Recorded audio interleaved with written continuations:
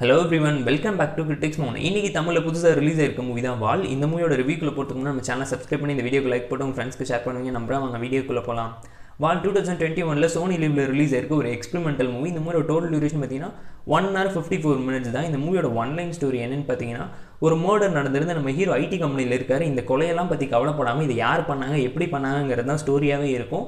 அதை தவிர்த்துட்டு இவர் பாட்டுக்கு ட்ரிப் வர்றாரு ட்ரிப் போனதுக்கப்புறம் என்னென்ன நடந்துச்சு இவர் லைஃப்பில் என்னென்னத்தெல்லாம் எக்ஸ்ப்ளோர் பண்ணுறாரு இதுக்கு பின்னாடி இருக்க பேக் ஸ்டோரி என்ன இந்த மர்டருக்கான ரீசன் என்னங்கிறதெல்லாம் இந்த மூவி பார்த்து நீங்கள் தெரிஞ்சுக்கணும்னு ஆசைப்படுறேன். ஸோ இந்த மூவியில் இருக்கக்கூடிய பாசிட்டிவ் பார்த்தெல்லாம் இந்த மூவியோட ஃபோர்ஸ் பாசிட்டிவ் என்னன்னு பார்த்தீங்கன்னா ஸ்டோரி வந்து ரொம்ப சூப்பராகவே எடுத்திருக்காங்கன்னு தான் சொல்லுவோம். பட் ஸ்க்ரீன் பேரில் லைட்டாக அங்கங்கே சொதப்பியிருக்காங்க. அதை விட்டுருவோம். ஒரு ரெண்டாவது பாசிட்டிவ் சினிமோடோகிராஃபி தான் தாறுமாறாக வச்சு செஞ்சிருக்காங்க. செகண்ட் ஹாஃப்லலாம் டைரக்டர் சினிமோடோகிராஃபர்கிட்டே இந்த இந்த மூவி நீயே வச்சுக்கோப்பான்னு சொல்லி கொடுத்துட்டாருன்னு நினைக்கிறேன். அவ்வளோ கலர்ஃபுல்லான visuals last forty five minutes பிச்சு பின்னி பெடல் எடுத்திருக்காங்க. அந்த இடத்துல டைலாக் இல்லாதது ஒரு ட்ராபேக்காக அமைஞ்சிருக்கும். ஸோ இந்த மூவியோட மூணாவது பாசிட்டிவ் என்னென்னு பார்த்தீங்கன்னா சாங்ஸ் பேக்ரவுண்ட் ஸ்கோரிங் கேட்குற அளவு டீசெண்டாக இருக்குது அந்தளவு ஆக்டிங்கும் இந்த மூவிக்கு ஆப்டாக அடாப்ட் ஆகிருக்குன்னு தான் நான் சொல்லுவேன். அவங்கள எடுத்துக்கிட்ட ரூலாக அவங்க ஜஸ்டிஃபை பண்ணி ரொம்ப சூப்பராக பண்ணி கொடுத்துருக்காங்க.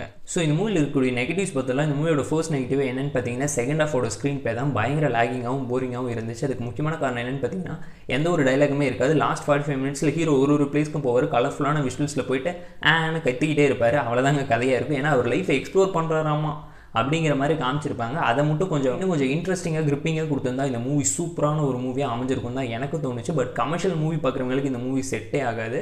பட் எக்ஸ்பெரிமெண்டல் மூவி பார்க்கணும்னு நினைக்கிறவங்க இந்த மூவி பார்த்து ஹண்ட்ரட் பர்சன்ட் என்ஜாய் பண்ணுவாங்க. நான் ஹண்ட்ரட் பர்சன்ட் கேரண்டி தரேன். ஃபேமிலி வாட்சபிள் மூவியான்னு கேட்டிங்கன்னா அங்கங்கே ஒரு ரெண்டு சீன் ஒன் டுவெண்ட்டு தான் போகும். அது மூவிக்கு தேவைப்படுறதுனால ஸ்கிப்பபிள் சீன்ஸ் தான். பட் ஃபேமிலி வாட்சபிள் மூவி தான் இது. சோனி லிவில் அவைலபிளாக இருக்குது மறக்காமல் செக் அவுட் பண்ணி பாருங்கள் இந்த மூவிக்கு நாம தரக்கூடிய rating six out of ten இந்த வீடியோ பிடிச்சா லைக் பண்ணி ஷேர் பண்ணி சப்ஸ்கிரைப் பண்ணி சப்போர்ட் பண்ணுங்கள் இந்த வீடியோ பிடிக்கலாம் மறக்காம டிஸ்லைக் போட்டு ஏன்னு கமெண்ட் பண்ணுங்கள் நம்ம டெலிகிராம் சேனலுக்கான லிங்க் கீழே டிஸ்கிரிப்ஷனில் இருக்குது ஜாயின் பண்ணிக்கோங்க. டெய்லி மூவி பிட்ஸ் உங்களுக்காக வந்துடும் tata bye bye see you